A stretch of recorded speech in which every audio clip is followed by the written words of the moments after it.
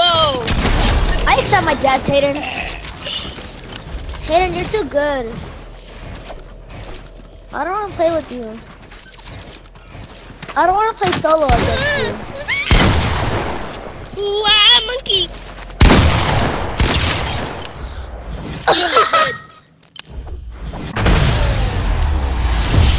But you just got clipped.